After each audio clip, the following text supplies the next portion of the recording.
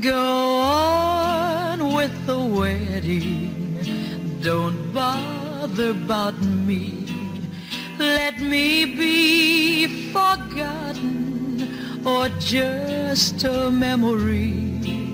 I love you, dear, always, but he loves you too. So go on with the wedding.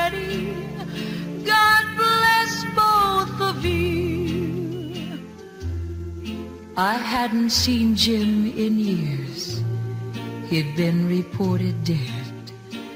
Though Jim was my true love, I soon would marry Fred. The wedding march was beginning when Jim appeared that day. With a cry, I ran to him, but they all heard Jim say, Go on with the wedding, don't bother about me. Let me be forgotten or just a memory. I love you, dear, always, but he loves you too. So go on with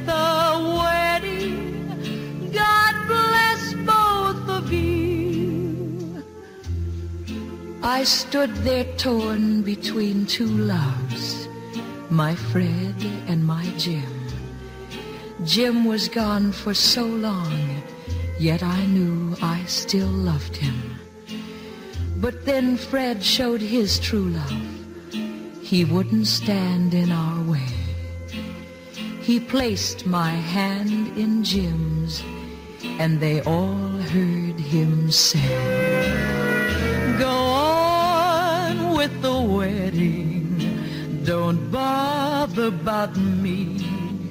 Let me be forgotten or just a memory.